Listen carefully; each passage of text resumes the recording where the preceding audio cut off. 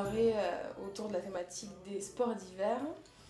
c'est un type de soirée qu'on met en place avant chaque vacances scolaires, en fait, qui a pour objectif de rassembler les familles, les enfants et l'équipe d'animation autour de jeux, d'activités manuelles, donc qui sont proposés par les animateurs.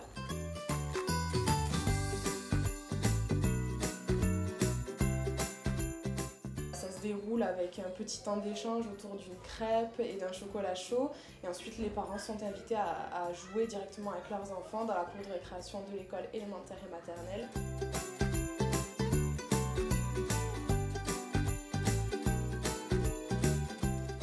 sympathique de pouvoir s'amuser avec les enfants. on a joué au hockey, on a lancé des boules, mais il y en avait qui couraient beaucoup plus vite que les autres quand même sur le cours. C'est-à-dire que les parents, c'est plus grand, mais ça bouge beaucoup moins vite quand même que les enfants.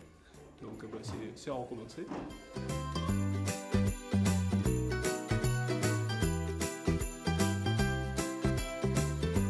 Oh, c'est cool, euh, il y a le hockey qui est cool, il y, y a, aussi le lancer de précision, il y a voilà, en gros tout ça qui est cool.